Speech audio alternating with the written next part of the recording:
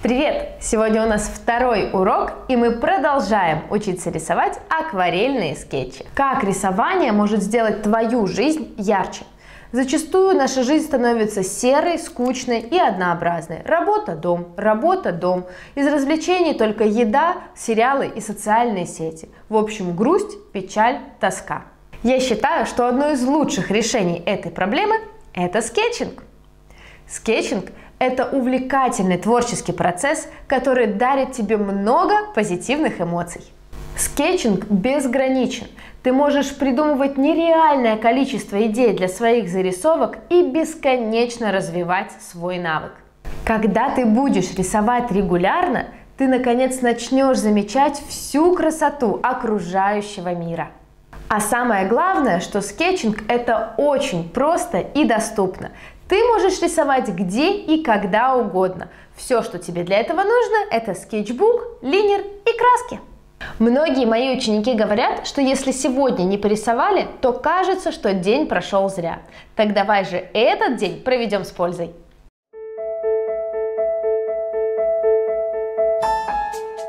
Сегодня мы с тобой будем учиться рисовать максимально оранжевое животное. Это белочка.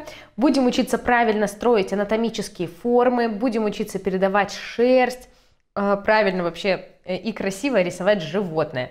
Нам с тобой сегодня понадобится, как обычно, А5 формат, акварельный лист шершавой стороной наверх, карандашик твердо-мягкий, ТМ, HB, э, черный линер, у меня это Faber-Castell 03, это может быть и другой линер, который не течет, тач или микрон, или черная гелевая ручка. Главное проверить, чтобы не растекалась под акварелью.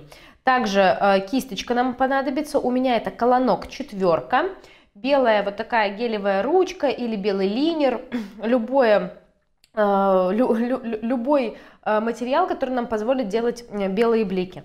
И ластик у меня это Faber-Castell э, клячка, такая мягкая пластилиновая. Красочки у меня сонет 12 цветов, палитра, водичка и салфетки. Начнем мы с тобой с построения. И вообще э, в любом нашем деле это будет построение и компоновка всегда самое начало. Давай посмотрим. Э, наша белочка сидит себе в центре листа, что-то там, видимо, в своих лапках держит и жует. Мы с тобой точно так же и сделаем посадим ее э, в центр, может чуть-чуть сместим влево. Если останется много свободного э, места сбоку, можем даже какую-то надпись интересную добавить. Ну, посмотрим, как пойдет. А для начала давай компоновать в листе бумаги. Как обычно, находим серединку, половинку. Поставила засечку, зажала карандашик, проверяю. Не попало чуть-чуть.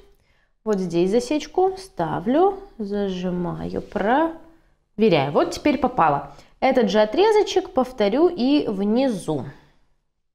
Вот так, вот так. Вот он мой. И провожу эту линию, да, так, карандашик помощнее возьму, чтобы было видно. Ой, тут не мощнее, наоборот.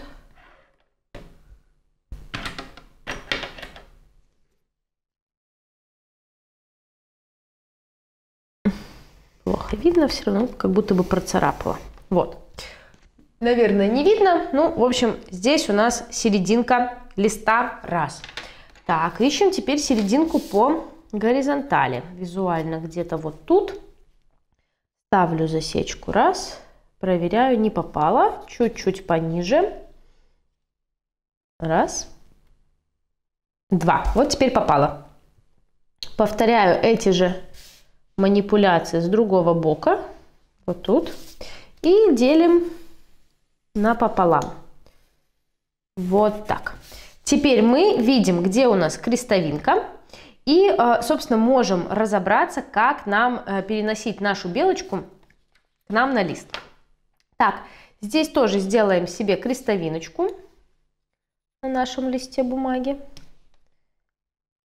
Ставлю засечку раз, проверяю, зажала, подставила, чуть-чуть не попала. Вот сюда, поставила, зажала. Раз, два. Вот что-то такое у нас тут получается. И по горизонтали делаем то же самое. Так, смотрю. Вот здесь засечку поставим. Так, зажала, переношу, не попала. Чуть-чуть пониже делаю. Зажала, переношу, вот теперь попала. эту же линию переношу и вот в эту часть листа. Э, напоминаю, что эти линии должны быть еле заметны, не сильно бросаться в глаза, потому что это линии построения, нам от них потом придется избавляться. Окей, сделали компоновку, теперь будем компоновать непосредственно саму белочку. А, обращаю внимание, что она не уходит прямо в край листа, то есть где-то здесь у нее уже закончится ее тельце э, и начнется какая-то интересная листва. И хвост у нее тоже не должен прикасаться прямо к краю, то есть где-то вот здесь он уже должен теоретически заканчиваться. Само тельце у нас, если присмотреться, не намного выше центральной вот этой линии поднимается, где-то вот здесь. И по своей форме, если присмотреться, похоже на кругленький такой вот эллипс. Вот я сейчас такой вот эллипс и создаю здесь. Даже так как бы без какого-либо наклона, просто вот такой вот легкий эллипс. Дно, э, низ можно сильно не закруглять, потому что он тут прячется э, в листочке, травку тут какую-то осеннюю, поэтому вот приблизительно наше тельце. Э, теперь внутри этого тельца у нас сразу можно наметить таким же полукругом вторым эллипсом ножку, э, лапку э, заднюю как бы, да. И вот сейчас смотрю относительно нашего тельца, сколько эта лапка занимает. Вот от самого низа до вот этой тенюшки лапки, от тенюшки лапки до спинки. Видим, лапа, вот эта часть больше, чем остаток спинки. То есть, если где-то визуально вот здесь у нас центр, проверяю, да, это где-то центр, то лапка будет чуточку повыше. У нас вот этот кусочек должен быть побольше, а этот поменьше. И здесь, повторяю, он прямо вот, вот тут и идет. Вот у нас тут раз, Здесь не сильно заходит за вот эту центральную линию. Вот у меня центральная линия, лапка здесь не сильно торчит. Она задняя, поэтому она больше задней части тельца. Отлично. Теперь очень удобный такой лайфхак. Если посмотреть на размер лапки, вот я смотрю, да, от самого низа до того верха, который мы нашли, и приложить к мордочке, к самому кончику носа, то и получится как раз-таки размер головы нашей белочки. То есть, по сути, мы уже знаем, какой у нас размер головы белочки. Главное ее в нужном месте расположить. А, смотрим, где мы ее располагаем. Вот наша центральная вот эта линия. Она будет проходить уже по мордочке. То есть мордочка у нас должна где-то вот тут уже быть. И, соответственно, где-то вот тут уже будет выходить, ну, выходить, да, то есть мы сейчас вот это подложим вот сюда. То есть наша вот эта центральная линия не то чтобы делит нашу мордочку пополам, нет, но внизу точно есть носик, уже мордочка с носиком. То есть где-то здесь у нас уже должна идти мордочка. Соответственно, можно взять вот этот вот отрезочек, сюда его подложить, приблизительно как-то вот так, вот так. И увидеть, что где-то вот до сюда у нас будет доходить голова. Ну вот я примерно так и наметила.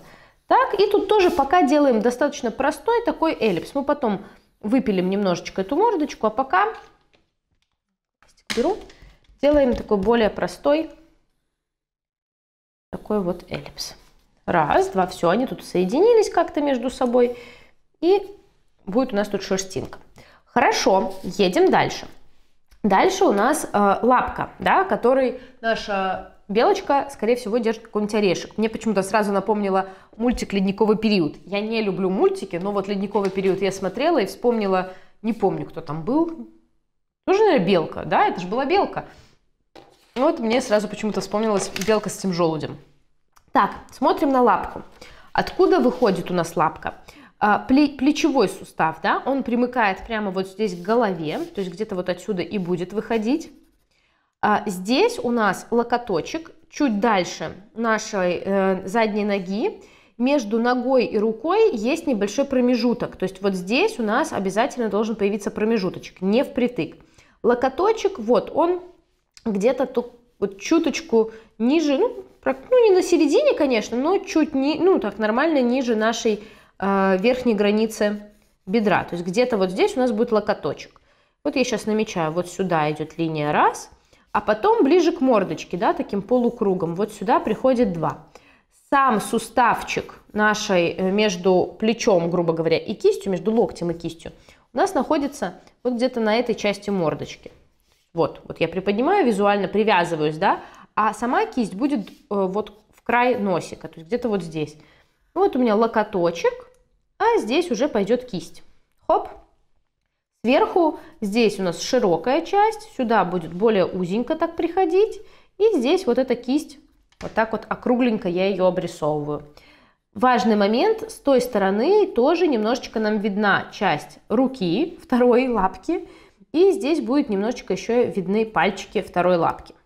Так, на пузике тоже есть важный момент, это вот у нас лапка задняя, здесь у нас пойдет пузика светленькая, а тут еще, вот я его специально так подворачиваю, здесь поуже, здесь пошире. Вот здесь у нас хоп, а задняя лапка вот у нас еще пойдет вот здесь таким полукругом. Вот у нас уже получилось и лапа, и пузика, и лапка, и лапка, и даже голова. Так, теперь будем смотреть более внимательно на форму тела и еще на хвост. Так, здесь у нас будет более плавный такой переход и не будет такого сильного горбика. Он такой будет более покатый, более кругленький такой, вот такой, да. И э, тут так еще более там, плавненько будет перепадик переходить. Здесь у нас вообще не видно никакой ни шеи, ничего, у нас сразу лапки растут. И смотрим сейчас на хвост. Хвост у нас красивый, пышный и с изгибом. Это очень важно. То есть здесь он у нас пойдет по форме тела, то есть он прям выходит вот так, сюда прям прижимается. Опа. А тут начинает изгибаться и заходит вот сюда. Такой опа. Важно, что мы шерстью будем здесь рисовать, чтобы у нас хвост не сильно упирался в край листа. Поэтому можно этот загибончик сделать чуточку пониже. Где-то вот тут. Вот так. Но хвост должен получиться пышный и красивый. А, сразу могу себе немножечко наметить, что хвост у нас будет мохнато смотреться вот здесь. То есть он от тела будет идти более таким темным, плотным цветом.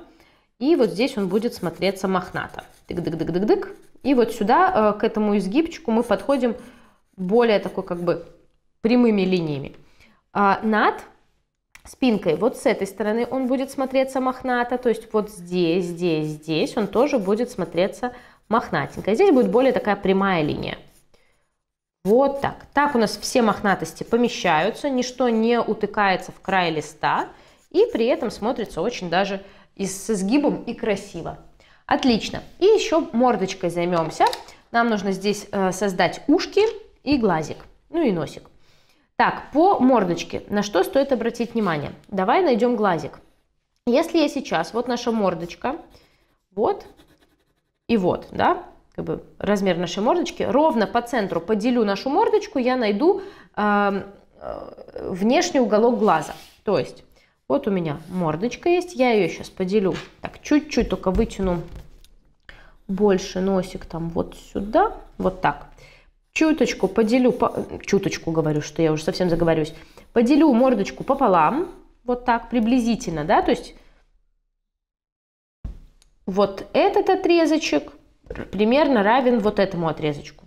И здесь у нас будет глазик. Вот у нас идет центральная линия, тоже от нее можно плясать. Вот у нас идет центральная линия, выше нашей центральной линии идет глазик. То есть как бы вот центральная линия и выше нее идет глазик. Глазик, он такой под наклоном, то есть мы рисуем его сейчас не просто вот так, а помним, у нас мордочка немножечко под наклоном вниз, соответственно и глаз у нас тоже будет под наклончиком вниз. То есть я его сейчас так раз, как орешек, такой как миндалинка, два, и вот у нас получается раскрытый красивый беличий глазик. Так, чуть нежнее, пока только в одни линии такие, хоп-хоп. Отлично. А по ушкам. Где у нас будут ушки? В принципе, на макушке, э, без каких-либо тут выдумок. А, если хочется к чему-то привязаться, то вот у нас ушко, если опустить низ, как раз в локоточек приходит. Где-то вот так. У нас будет одно ушко. Смотрю внимательно на форму. Тут вот более такая прямая вверх, потом вниз с таким вот изгибчиком, хрящиком идет. И к голове приходит. Главное не сделать это ухо очень большим сейчас, да, то есть там сильно огромным его делать не, не надо. Ну вот сюда приходит. Здесь прорисовываю вторую толщиночку, потому что вот от узкого э, расширяю к голове, потому что здесь у нас, ну, именно мохнатое ушко такое будет. И очень важный момент, это ушко у нас заходит внутрь как бы головы. Здесь у нас проходит сама голова, значит ушко у нас начинается чуточку пониже. Вот так. Отлично. Второе ушко у нас прячется там сзади за голову. То есть где-то вот так оно там будет идти. Вот таких два ушка. Можно чуть пошире их сделать. И вполне себе получились красивые беличьи ушки. Так, глазик у нас есть. Я его, может, чуть-чуть, чуть-чуть подвину вот сюда, капельку совсем. Чтобы он не так близко к краю мордочки был. И сейчас саму мордочку более правильной формы сделаем. Здесь она такая более покатая, более кругленькая такая. Тут будет немножко торчать кончик носика такой смешной бубочкой. Здесь у нас пойдет как бы ротика щечки. Ну, а тут у нас уже пойдет тельце. То есть у нас как бы тут нету такой прям щеки какой-то или чего-то такого. Шеи тем более. Ну, вот так оно будет смотреться более правильно и более беличье. Да, не просто овальное, а вот тут более круглопоката, потом небольшой носичек тут торчит. И пошла вся остальная мордочка. Так, в лапке я ей посажу какой-нибудь смешной, там, не знаю, может быть желудь, может орешек. В шляпке, хоп. Тут у нас такой идет желудь, вот в шляпке. Желудь в шляпке просто и снизу торчит, и сверху небольшая такая шляпочка. Все, здорово. На что еще стоит обратить внимание, что на переднем плане стоит прорисовать какие-то тут веточки, Э, листочки только на переднем плане. На заднем плане я это все прорисовывать не буду. У нас там будет просто легкий цветной фон. Но на переднем можно немножечко прорисовать какую-то фактуру, чтобы было понятно, что она у нас сидит в листиках каких-то. Да, там какой-то, может, даже один листик прорисовать тут. Не сильно детально, но какие-то такие элементы переднего плана должны присутствовать. Чтобы она у нас сидела в листиках. Все отлично. Сейчас я чуть-чуть уберу линии построения, приглушу. И на самом деле в карандаше даже не буду создавать шерстинки, потому что это не оправдано. Мы все равно не попадем линером точь-точь в те шерстинки, которые сейчас наметим. Просто смотрю, где сделать более э, такие покатые переходы, да, то есть вот голову с шеей соединить, здесь все мне нравится, как идет. Здесь вот важно вот, чтобы хвост вот так перешел, э, лапка у нас здесь идет более такая мохнатенькая. И, в общем-то, все остальное меня устраивает. Так, тут пузика, тут небольшая тоже лапка. Вот вполне себе хорошая получилась у нас белочка. Теперь линером я буду обводить, сразу создавая все нужные нам мохнатости и шерстинки.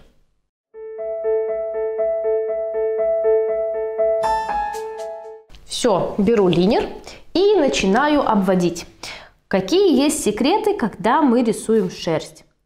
Мы стараемся сделать максимально неровный контур.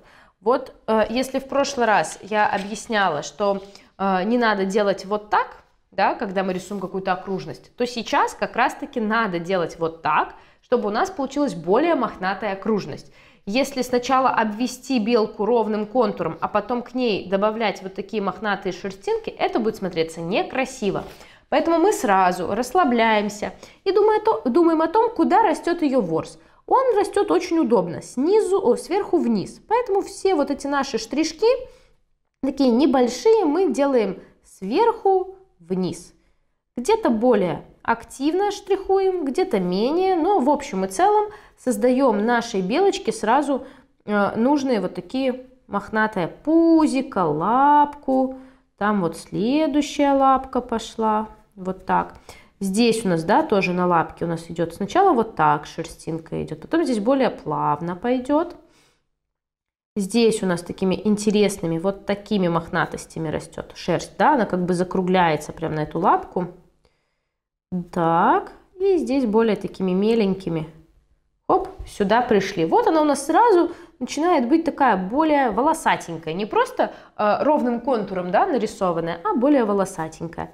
Где-то можно этих шерстиночек добавить побольше будет, да, там голова, лапка, вот таких перепадах. Ну, в общем и целом, стараемся создать такой эффект. На мордочке очень меленько, здесь крупно не делаем. У нее здесь более э, короткая шерсть, более гладкая да, мордочка, чем само тельце. Поэтому здесь сильно не мохнатим, ну, чтобы не переборщить. Так, там у нас еще одна лапка идет. Здесь у нас красивый желудь в беретике.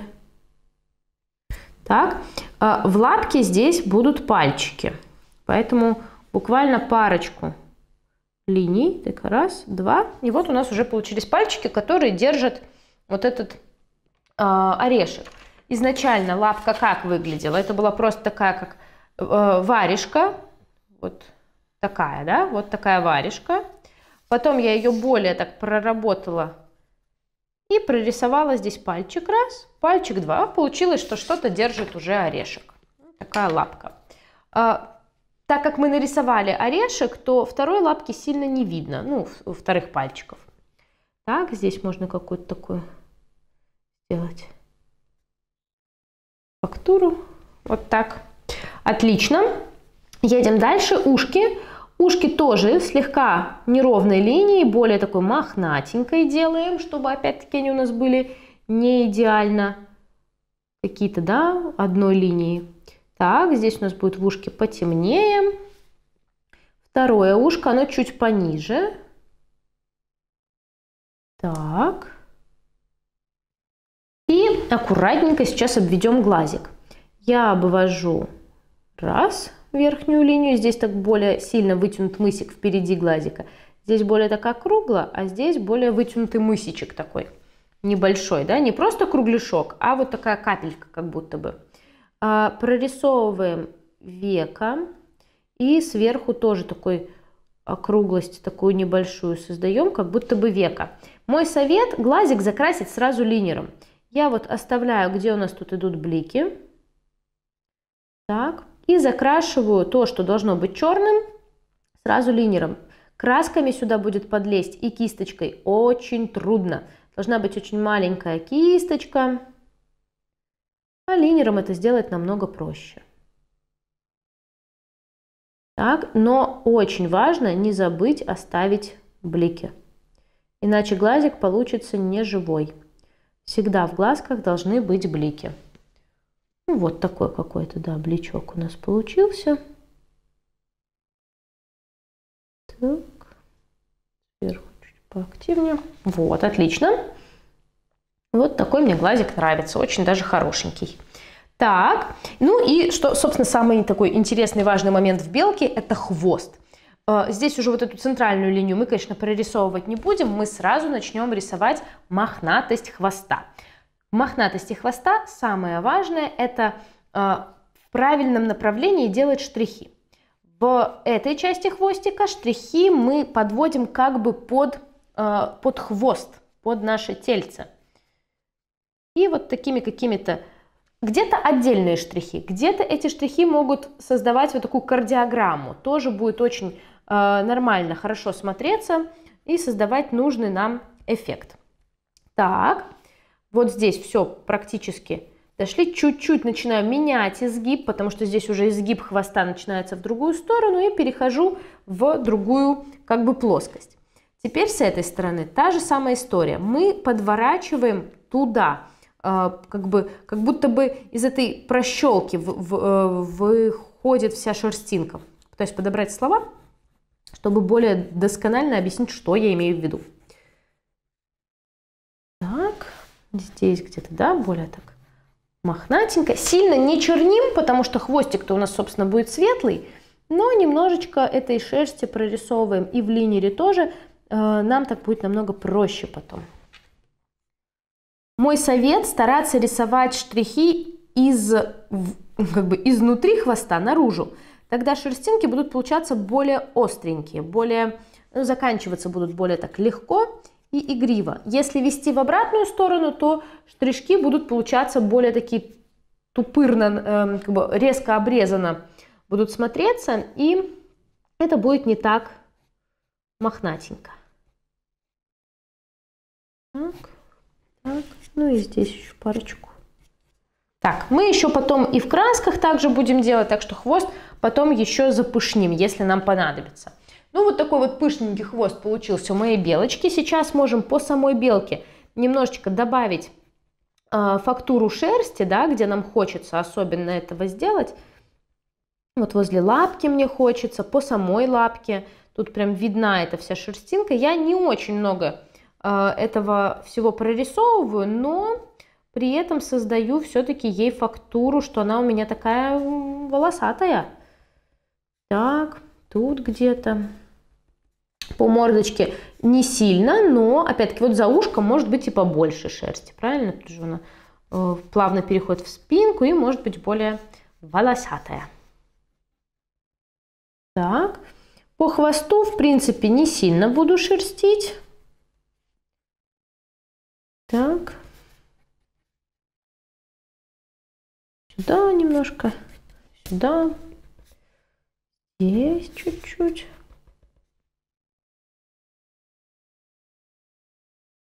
Так, ну и по мордочке совсем капельку, да, тут более коротенькими такими штришками я это делаю над глазиком чуть-чуть, под глазиком чуть-чуть стараюсь так создать эту шерстиночку, но здесь уже без перебора. Здесь можно пару вот этих точечек смешных сделать. Не знаю, есть ли прям усики у белок. Вот чего не знаю, того не знаю. Ну, наверное, ж есть. Тоже, если прям уверены, что они есть, то можно их прорисовать.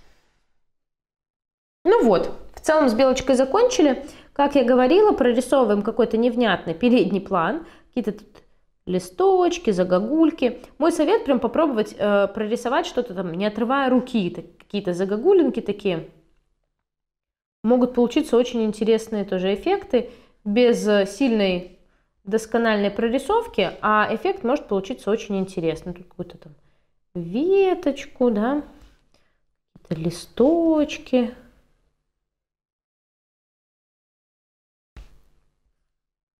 Так.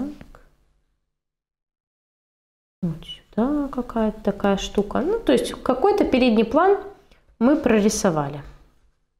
Вот так, отлично. Она у нас сидит в какой-то тут зеленявочке, в листиках опавших. И у нее тут интересное занятие, она грызет орех. Вот так. Здорово. Все, в линии на данном этапе мы закончили. Беру ластик и убираю все излишки карандашного грифеля и построения. Мы начинаем раскрашивать нашу белочку.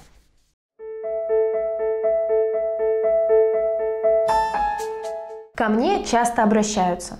Аня, я очень хочу научиться рисовать, но у меня сложная работа, большая семья и совершенно нет времени для того, чтобы заняться рисованием. На что я всегда отвечаю, что для рисования скетчей нужно совсем немного времени. Главное – твое желание, а время всегда найдется. У меня есть ученицы, у которых и работа, и семья, у некоторых трое детей.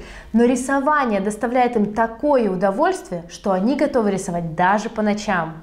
Лови несколько полезных советов, которые точно тебе помогут найти время на рисование.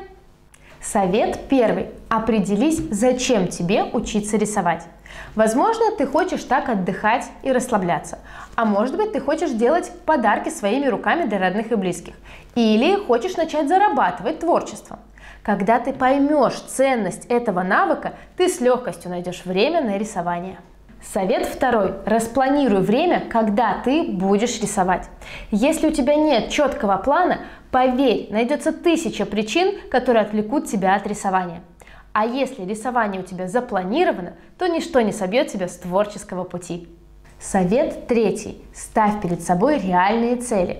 Если запланировать рисовать каждый день по 2 часа, то можно очень быстро перегореть и сойти с дистанции. Поверь, лучше рисовать несколько раз в неделю хотя бы по полчаса. Так ты быстрее войдешь в ритм и начнешь рисовать больше и чаще. Совет четвертый. Меньше залипай в компьютеры, телевизоры и телефоны – Чаще всего это не приносит никакой пользы, а рисование принесет тебе много ярких впечатлений и хорошее настроение.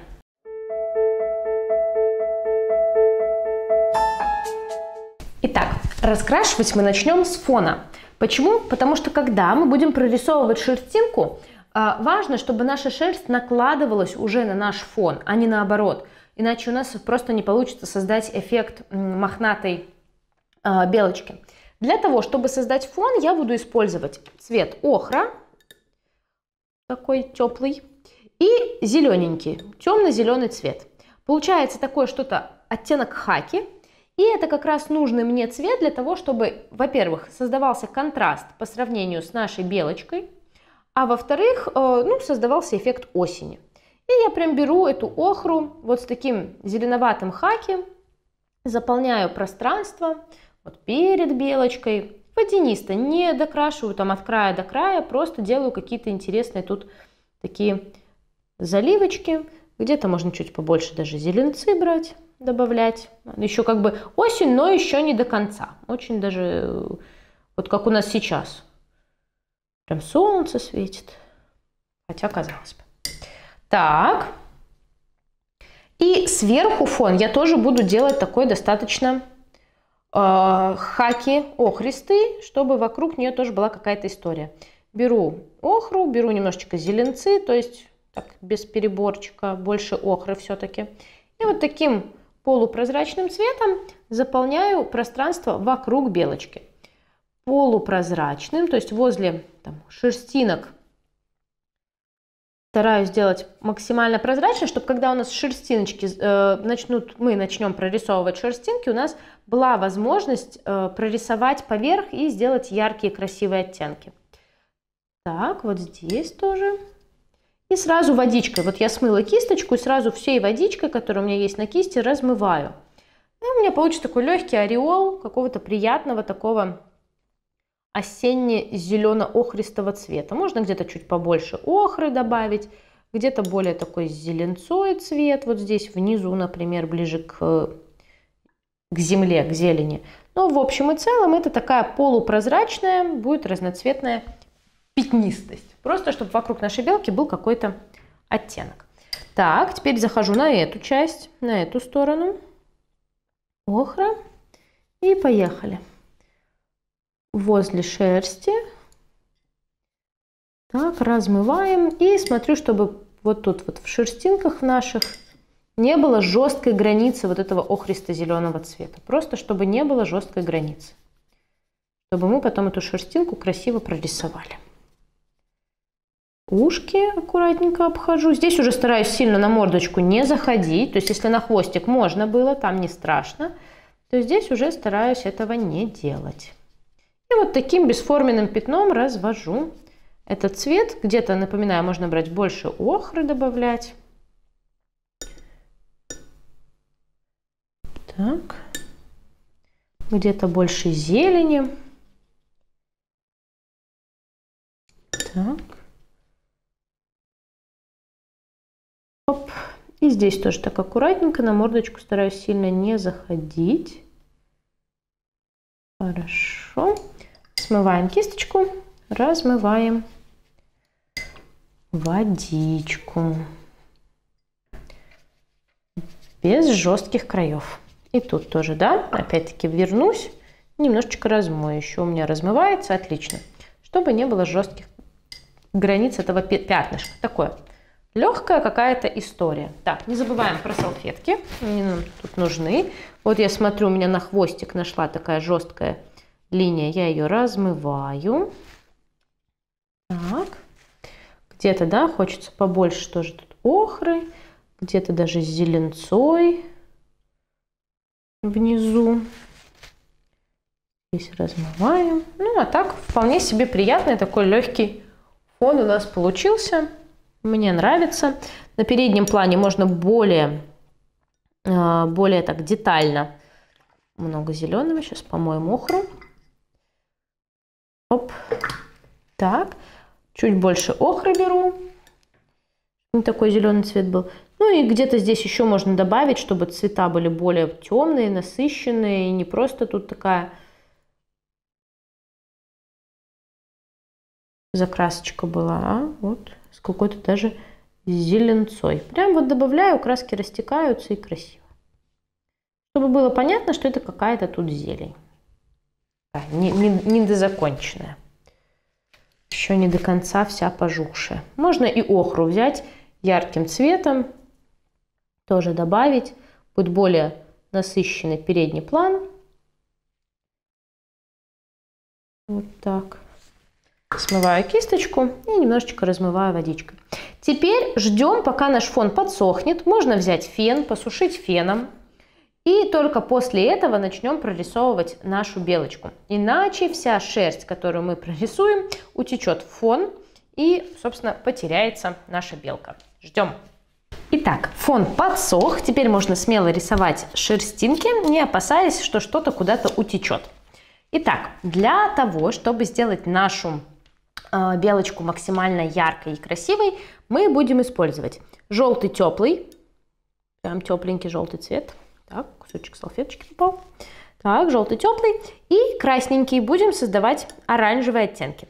Будем работать постепенно, не будем брать сразу ярко вырвиглазный. Сначала начнем вот с такого легкого э, мандаринового абхазского цвета и пройдемся по нашей белочке. Э, в целом у нее прям ярко-белых дырочек нигде не будет, ну, бликов я имею в виду. Поэтому можно смело заполнять белочку цветом, где-то просто более прозрачно он у нас будет, а где-то понасыщеннее. Но в то же время я сразу стараюсь создавать этот цвет э, такими полосочками, вот так шик-шик-шик-шик-шик делать кисточкой, вот такими полосочками, чтобы э, создавался эффект, э, ну как бы шерстинки уже сразу, да, не э, просто наглухо закрасить, а создавать вот такие легкие шерстиночки. Смотрим, где у нас она будет максимально светлая. Вот, например, на ноге у нее вот здесь будет э, светлая шерсть. А вот здесь в складочке будет шерсть потемнее. Так. Где еще вот она светленькая? Вот как бы в промежутке между головой и лапкой. На лапке у нее тоже. То есть я сразу стараюсь э, свою руку приучить к тому, что мы сейчас будем рисовать шерстинки такими полосочками.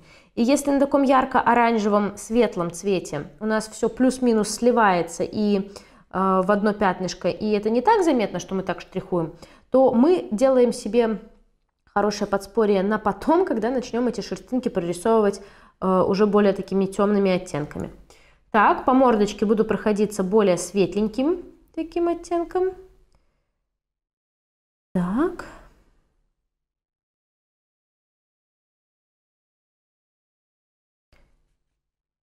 Угу.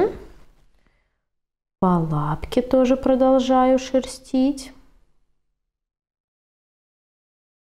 мелкими такими полосочками снизу, сверху вниз, создавая тем самым мохнатые шерстинки. По пузику особо сейчас не трогаю, хотя оно там чисто белым, конечно, у нас не будет. Так, продолжаю работать по мордочке. Светленькая она у нас здесь идет. Такая. Так. Стараемся создавать эффекты мохнатости. Вот здесь вот у меня застыла краска. И теперь уже смотрится не мохнат, а жесткий контур. Стараюсь этот момент исправить.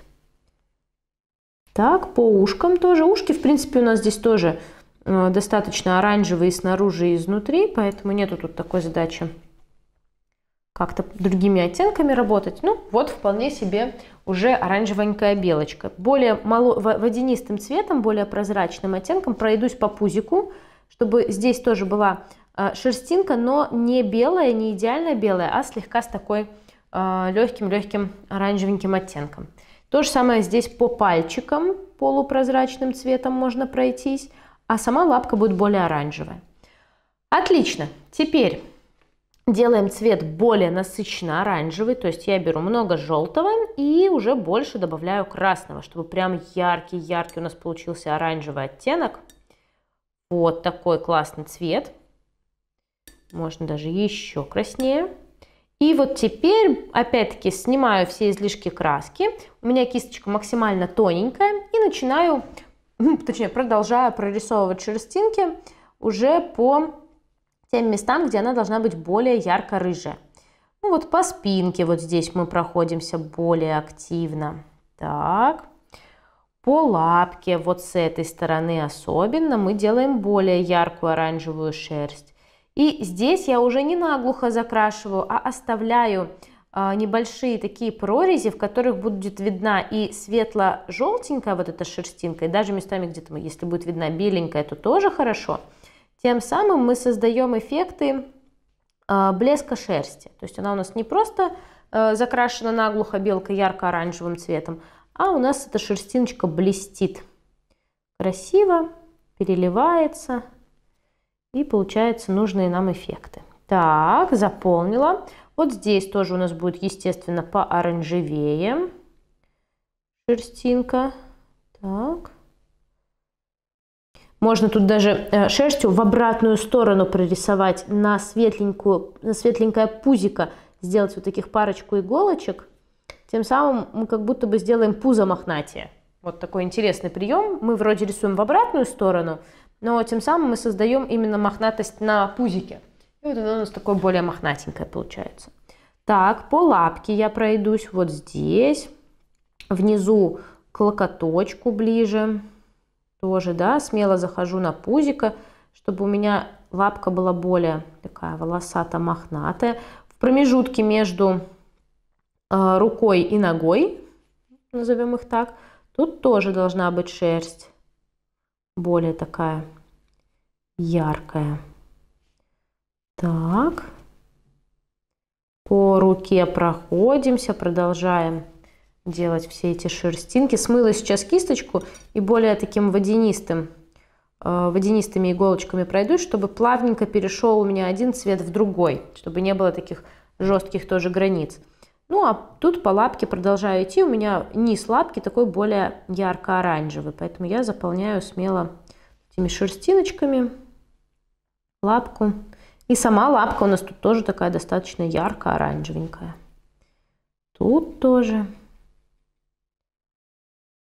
Так, и здесь более такие тоненькие. Даже четверкой кисточкой можно сделать маленькие тоненькие полосочки. То есть совсем не обязательно э, идти и покупать себе 15 кистей, большую, маленькую, там, крохотную и так далее. Этих ки одной кисточки более чем достаточно. Все зависит от нажима. Чем меньше мы жмем на кисть, тем тоньше она нам делает линии. Чем сильнее мы на нее жмем, тем, естественно, шире она нам будет рисовать. Вот.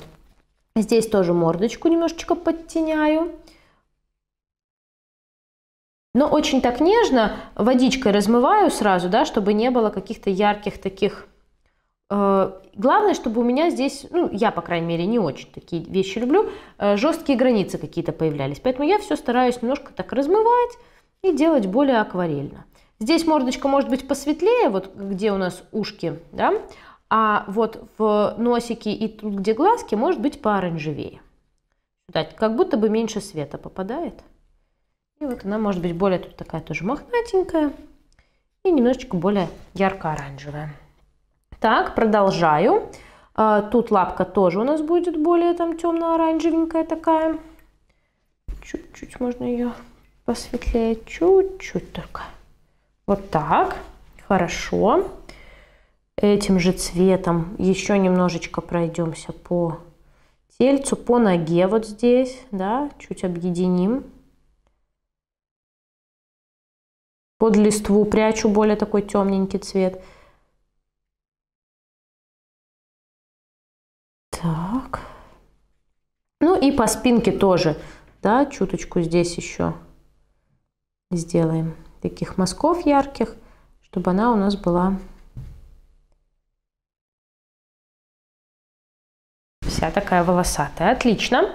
Сейчас сделаем цвет еще более темный, еще более такой насыщенный, может быть даже ближе к коричневому. Только сейчас охрой немножко по пузику еще пройдусь. Вот чистую охру беру, много водички. И вот здесь стараюсь еще раз пройтись по пузику, приглушить его, иначе слишком, слишком светится. Вот так, чтобы не так сильно светилось. И снова беру оранжевый, ну, в смысле желтенький. Желтенький, красненький, то есть такой прям оранжевый делаем.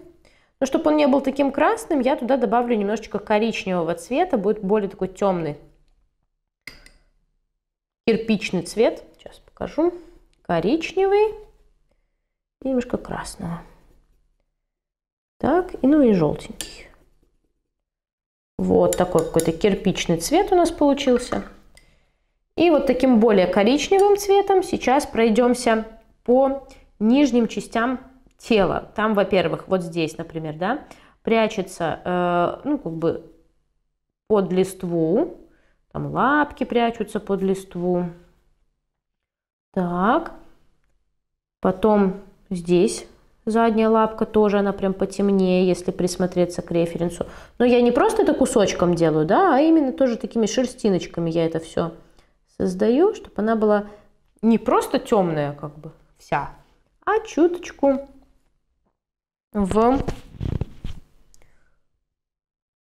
в объемчике таком. Так, между лапкой и ногой, и вот вообще э, вокруг ножки у меня здесь такие могут идти штришки более темного цвета. Туда под пузико тоже может заходить смело. Потому что здесь, ну, складочка, да, то есть здесь должно быть потемнее. Так, где у нас еще должно быть потемнее? По лапке, пожалуй, тоже сделаю еще более темные оттенки. Вот здесь по шерсти. Локоточку вот сюда. Здесь немножко потемнее сделаем. На мордочке тоже. Здесь буквально парочку темных мазков. Ну, а вот так в целом лапка потемнее внизу. Смываю кисточку и немножечко делаю это более так местами бесформенно. На мордочке просто как бы тенюшка как будто бы лежит. Здесь более на, на мелкие полосочки развожу. То есть я не прям детально-детально все прорисовываю, каждую э, ворсиночку отдельно – но при этом все равно создаю максимально э, такую реалистичную мохнатость, чтобы она прям была у нас действительно вся из себя такая мохнатенькая наша белочка. Так, по ушке, э, по ушке, по ушку еще пройдусь. Вот здесь мне хочется более такой яркий цвет сделать. Вот в этой части ушка. Здесь по бортику оно такое прям темненькое. Так, смываю кисточку и размываю немножечко водичкой. Так, ушко вот это прячется у нас за голову, поэтому оно прям может быть там потемнее. Отлично. Ну и в целом пока по телу белочки я бы и остановилась, э, занялась сейчас ее хвостиком, потому что в целом, ну вот так по, глаз... э, по глазику говорю, по тельцу, мне кажется, мы даже и справились. Чуть-чуть вот здесь возле глазика добавляю тенюшечку, чтобы как-то так тоже создать эффект объемчика. Вот так. Все, по тельцу пока все, сейчас займемся хвостом. В принципе, здесь абсолютно тот же принцип и прием. Единственное, что э, прямо вот возле тела у нас будет максимально темный цвет, потому что э, создать э, тень, эффект тени нам нужно. Э, там такая прям получается складочка-складочка. Я сейчас намешала себе снова ярко-оранжевый цвет и пока пройдусь ярко-оранжевым цветом по хвосту белочки. Вот в этой части можно прям наглухо закрашивать, а там, где у нас э, рыжинка выходит на наш фон, можно делать, ну не можно, а нужно делать именно вот эти же наши мазки, такие хю-хю-хю, причем изнутри наружу лучше выводить, чтобы они получались максимально с острыми кончиками, эти шерстиночки, тогда смотреться это будет более натурально. Все, вот так сейчас заполняю хвостик заполняю. Хвост, хвост, хвост, хвост. Так, тут сразу, да, пока у меня до конца не досохла тут краска и не въелась в бумагу, я заполняю тоже мазками.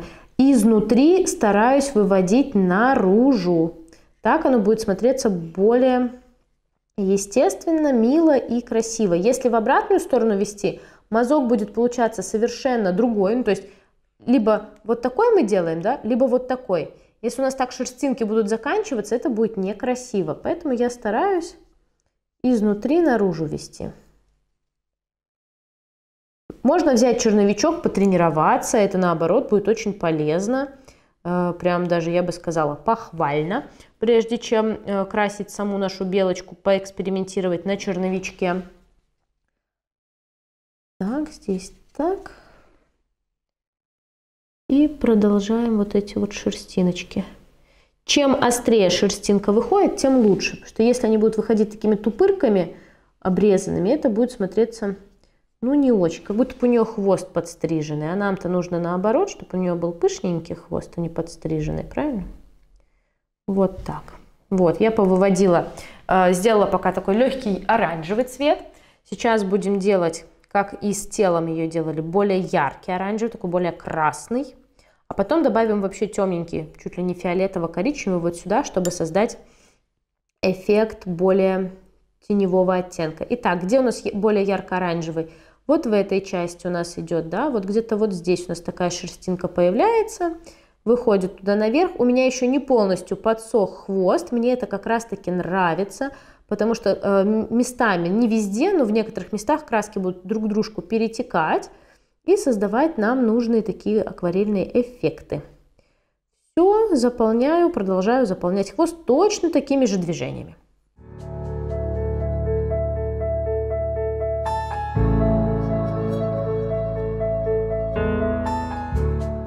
Отлично, хвост стал уже пышнее. Сейчас сделаю еще прям более красно-оранжевый.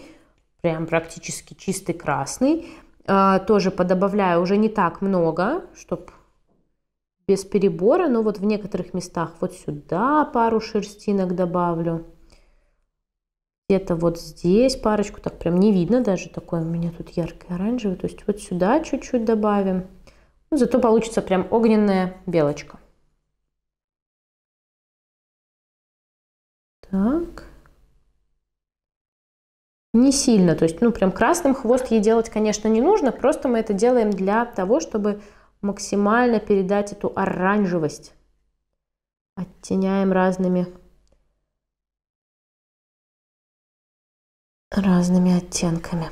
Так, ну а теперь я создам более такой коричневатый темный цвет. Э, добавлю коричневый к нашему красному и даже добавлю фиолетовый. Цвет получится такой темно-бордовый. Красный с фиолетовым дает нам такой более бордовый цвет. Отлично. И уже вот этим цветом я пройдусь в ближе к телу, да, вот именно в этой части хвоста, чтобы создать тень. Потому что если присмотреться к референсу, здесь прям хорошо видно тень. Вот я прошлась, и сейчас немножко вывожу этими шерстинками тоже, чтобы у нас не просто а, появилась такая хоп и полоса коричневая. Нет, это тоже должны быть какие-то шерстинки, плавно появившиеся в нашем всем остальном цвете. Вот так. Здесь максимально темный цвет должен быть. Я прям побольше фиолетового беру прям возле шерстинки. Прям возле тела, причем я тоже стараюсь э, немножечко как будто бы прорисовывать шерсть самого тела. То есть на тело немножко захожу острыми мазками, ну, тем самым создавая э, эффект мохнатой э, спинки. Так, чуть-чуть понижнее здесь переход. Он не был такой прям жесткий. Вот так пару тоже, да, каких-то шерстинок. Внизу хвоста более темные шерстинки, сверху хвоста будут, естественно, более светлые. Можно чуточку такого темного цвета еще вот сюда добавить, э, чтобы создать эффект того, что здесь загибается и сюда мало света попадает. Вот в эту часть хвоста. А так в целом меня устраивает. Можно чуть-чуть темных мазков тоже вот сюда добавить, буквально парочку. А, для того, чтобы сама шерсть блестела и было ощущение, что тут есть и э, яркий, и светлый и так далее и тому подобное. Вот, хвост получился максимально яркий. Сейчас я вижу, насколько вот этот э, кусочек э, головы блестит по сравнению со всем остальным телом, поэтому я его смело сейчас закрашиваю, э, убираю этот яркий, яркое белое пятнышко. То есть здесь все равно останется светло, но не такое яркое белое пятнышко будет, чтобы не бросалось в глаза. Так, э, внутри ушка нужно сделать потемнее. Вот наш коричневый с фиолетовым мне вполне подойдет. Вот здесь стоит сделать немножечко так потемнее. Там у нас ушная раковинка. Глазик у нас и так блестит, его можно сильно темным не делать.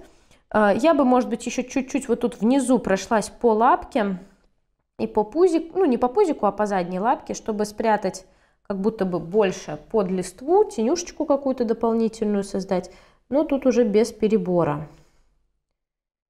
Тут без перебора, чтобы у нас, в общем-то, не сильно все затемнилось. Так, здесь чуточку размываю эту ушную раковинку. Такая небольшая, небольшая такая точечка фиолет, ну, фиолетово-коричневенькая у нас тут появилась. И сразу глубина ушка есть. Есть чем нашей белочке слышать. Здорово. А, вкусный желудь мы тоже сделаем какого-нибудь такого охристо-коричневого цвета. Ну вот, возможно, с такой фиолетов... фиолетовинкой даже стоит делать, просто чтобы он отличался по оттенку от нашей белочки. Поэтому вот как раз коричневый с фиолетовым оттенком я вот легким полупрозрачным тоном раз заполнила. Тут два между лапок. Отлично. Ну и э, шляпка у нас может быть какая-нибудь вообще охристо-зеленая. Вот с нашим фоном вполне подходит. Опа, смываю хорошенечко кисточку, размываю. Такой блестящий, полупрозрачный, какой-то такой желудь. Оп, оп, сильно на лапки, да, стараемся не заходить, чтобы ничего не попало на лапки. Так, ну, в целом, сама белочка у нас практически готова. По светлому вот этому месту хочется немножечко пройти шерстиночкой, поэтому можно взять охру, более так насыщенно, и просто пару мазков сделать, тоже именно шерсть прорисовать. Я не темнее здесь делаю, а скорее создаю здесь шерстинку. Так, отлично. Немножко в ушке даже почищу этот темный цвет, уж слишком он темный получился. Так. Носичек чуть-чуть оранжевее, коричневее сделаем, это уж тоже совсем светлым светится.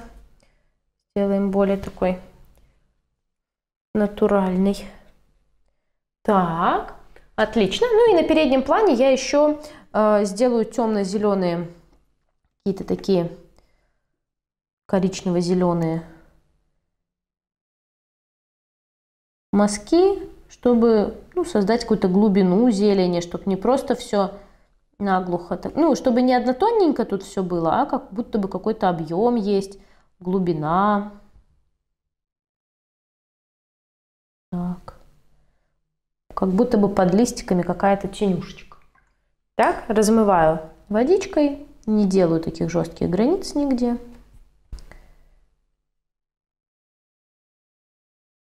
Абстрактный передний план у нас получился, не очень такой э, прорисованный. Главное здесь белочка.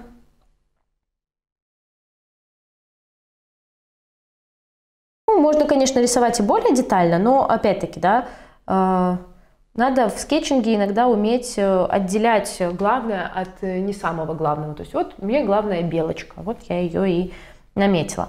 Все, белочка сейчас у меня подсохнет. Я возьму э, белый и черные линеры и немножечко доделаю детальки.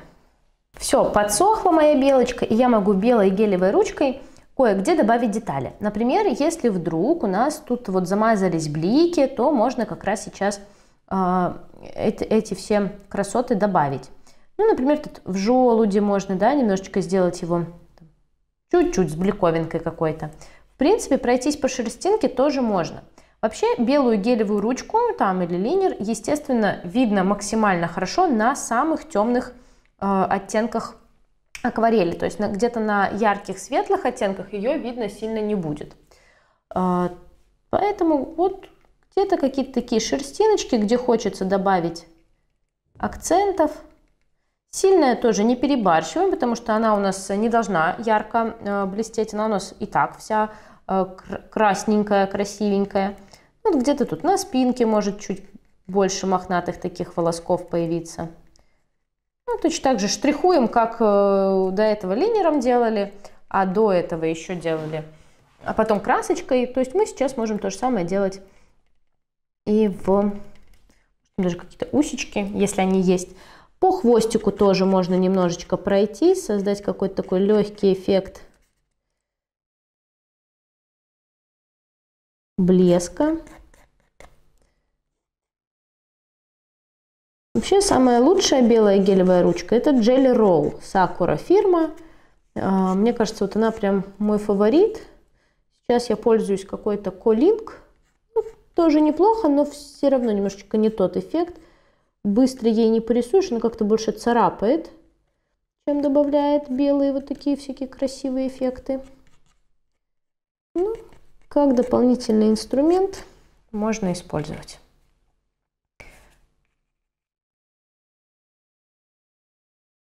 Так. По ушкам. Ну, вот какая-то такая интересная у нас получилась история. Так, а, точно так же тут вот по нашим этим зеленым листикам где-то можно сделать чуть посветлее. Ну, совсем плохо стало писать, как-то не знаю. То ли она забивается краской, то ли что. Ну, в общем, где-то можно немножечко белых бликов добавить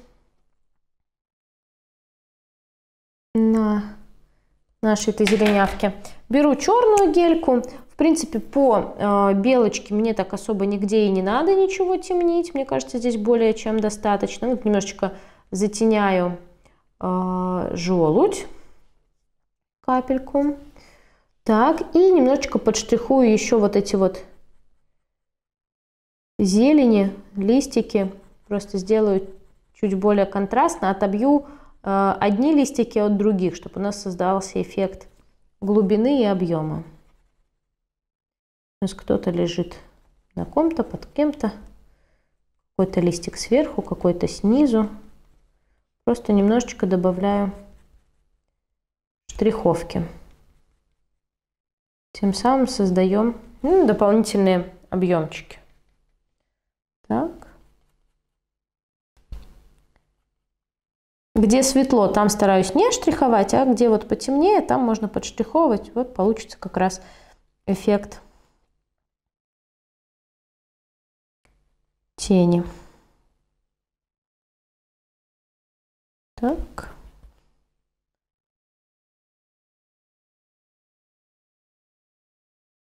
Чуть-чуть. Много тоже не надо, перебор.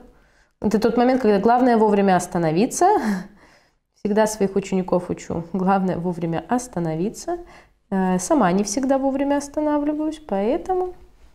Ну вот, какая-то получилась такая более фактурная э, история переднего плана. Все, в общем-то, закончили с белочкой. Глазик готов, все, лапки есть, шерстинки готовы. Ставим подпись.